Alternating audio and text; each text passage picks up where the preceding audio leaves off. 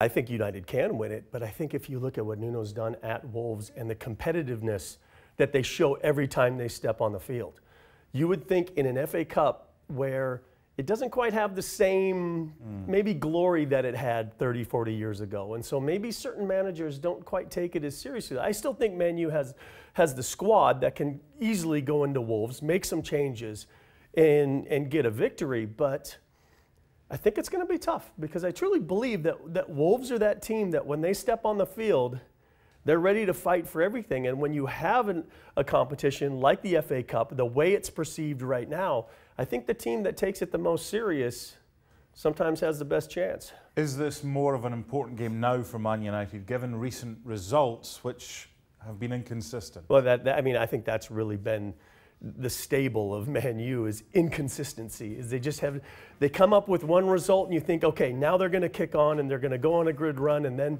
they lose a game they shouldn't and then there's a draw somewhere and you you would think that yes, this could be a great opportunity. Make a couple changes, give some guys some opportunities, have a great result away at, at Wolves, and then continue to, to push on then in the league. But I just don't know if that's going to be the case. When you see someone like Manchester United who, or some team like Manchester United, that are going for top four, this is going to be their best chance of success this season. So I get the change in goal because right. Romero's a super right. goalkeeper sure. as a backup.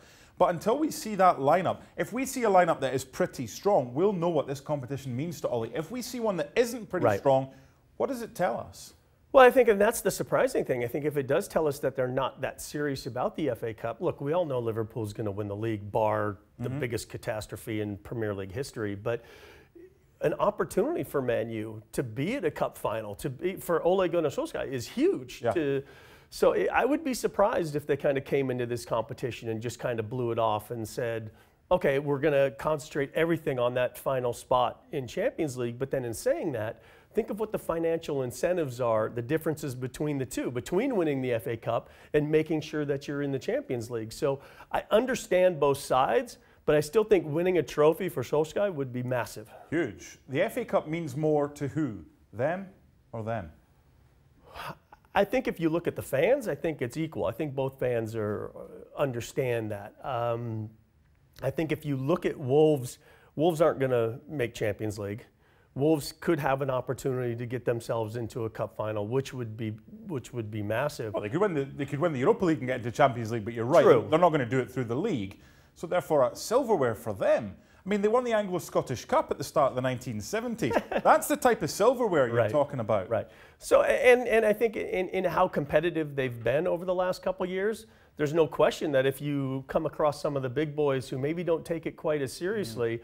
We've seen some, some teams, some smaller sides get themselves into cup finals over the last several years that maybe you wouldn't have seen yeah, 20 years ago. Sure. So I see no reason why the confidence with Wolverhampton wouldn't be thinking that this could be a year that they could find themselves in a cup final. But then at the same time, when you are of a storied club like Manchester United, things haven't been maybe what they were mm. several years ago.